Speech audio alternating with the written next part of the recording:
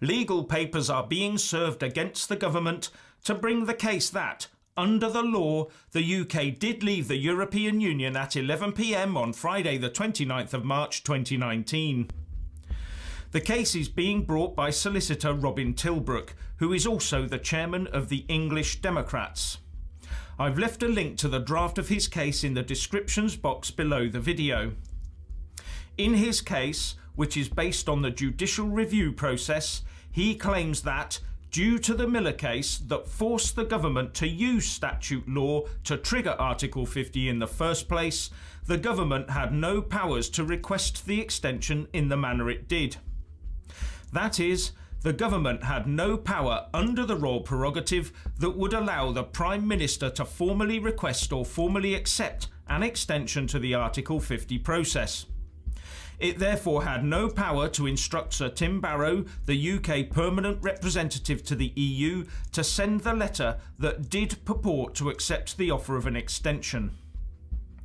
Before the government could actually trigger Article 50, Gina Miller and others won a court case against the government that forced them to take a bill through Parliament to get royal assent for a statute that would allow them to actually send the letter to the EU starting the Article 50 process. That statute only allowed for one thing the triggering of Article 50. It conferred no other powers on the government. Once the letter had been sent, under Article 50, the UK exit date from the EU was set unless Article 50 was properly extended or the original letter had been revoked.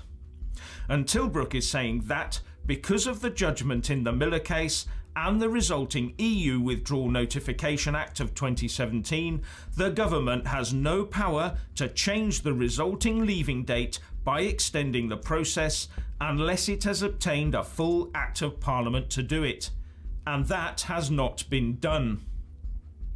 It could also, of course, by extension, be argued that the government has no power to revoke the Article 50 either without a full Act of Parliament. So, dependent on any High Court judgment, which would probably be fought tooth and nail by the government and appealed by them if necessary, we could either be 12 days from Brexit or already two days into it. Anyway, what do you think? Please leave a comment below and thank you for watching.